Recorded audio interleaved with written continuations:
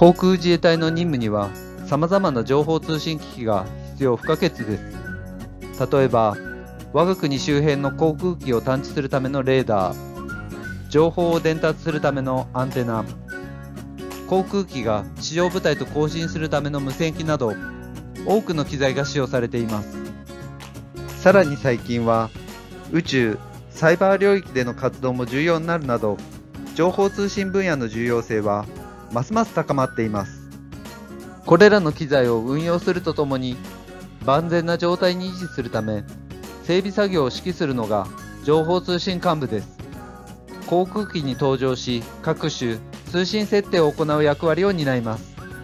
また、航空自衛隊の各基地において、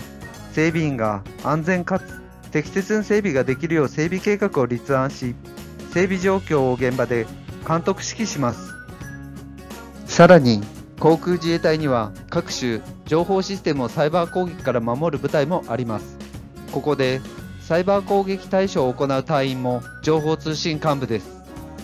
情報通信幹部の業務は幅広いですが、これら様々な分野でしっかり活躍できるよう、埼玉県の第四術科学校で基礎教育を受けた後、会社研修、舞台研修等を通じ、十分な知識を身につけることができます。その他、情報システムの設計にも携わることができ、